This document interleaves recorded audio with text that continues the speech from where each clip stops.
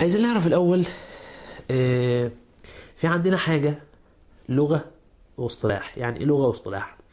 هتلاقي مثلا وأنت أول ما تفتح كتاب فقه يقول لك مثلا باب الصلاة. فيقول لك معنى الصلاة لغة ومعناها اصطلاحا. باب آه، الزكاة ومعناها لغة ومعناها اصطلاحا يعني إيه لغة ويعني إيه اصطلاحا؟ لغة يعني معناها في اللغة. الاصطلاح يعني معناها في الشرع. إزاي؟ يبقى مثلا الصلاة معناها لغة إيه؟ الدعاء. لما تقرأ مثلا رواية أو حاجة زي كده يقول لك مثلا فلان يصلي يصلي معناها يدعو.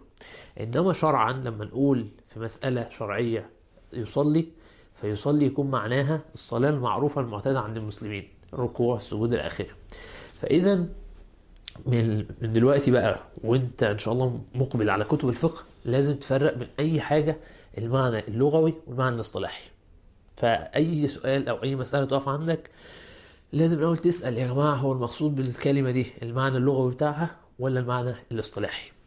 على سبيل المثال مثلا آه، الفقه أبسط مثال. الفقه معناها لغويا الفهم. أقول لك فقهت هذا الأمر أي إيه؟ فهمته.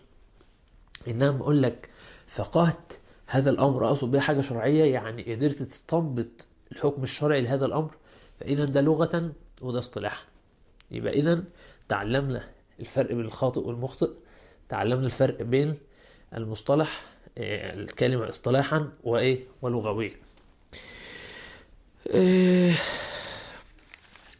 طيب إيه هو الفقه من لغة اللغة من الناحية الشرعية؟